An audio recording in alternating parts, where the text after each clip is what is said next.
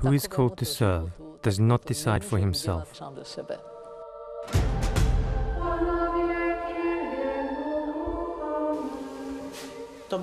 It must have been her inner crucifixion, like her Golgotha. Václave,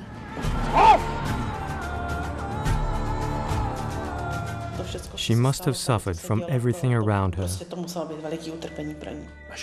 When Agnes will be canonized, better times will come to the Czech land. It will hit you like lightning, or it must well up for years. Tell Agnes that she did it well.